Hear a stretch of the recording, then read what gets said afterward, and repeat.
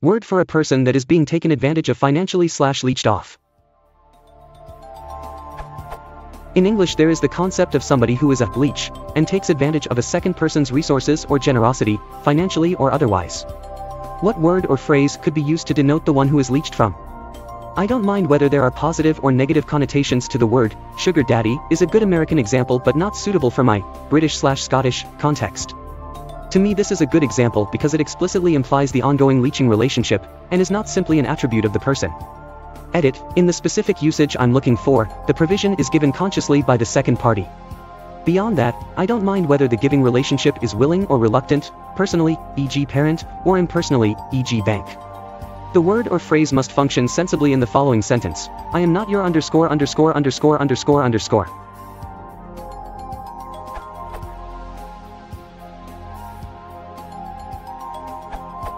You could say a soft touch, but this is a more general characteristic meaning that the person is easily tricked or taken advantage of, and doesn't capture the one side of a specific relationship aspect.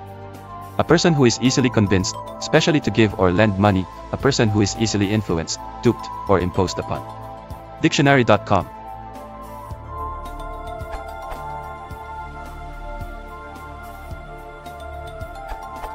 I think prey could fit the bill if you think victim, suggested by it hotlicks, is a bit strong. One that is deceived or taken advantage of by another, easy prey for swindlers. American Heritage Dictionary of the English Language, 5th edition,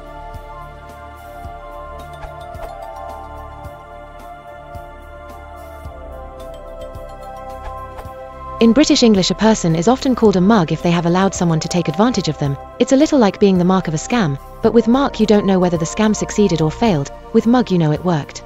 I think it's a carny term. You probably wouldn't say I'm not your mug, but you'd say I'm not a mug, or do you take me for a mug, or what sort of mug do you think I am? American English gives us chump and sucker along the same lines.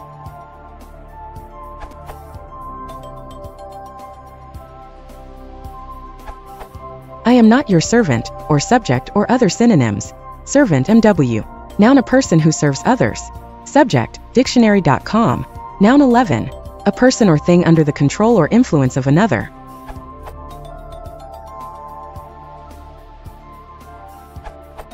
A person that is soft in character is easily lured into doing things that might not be in favor of her slash his own interests.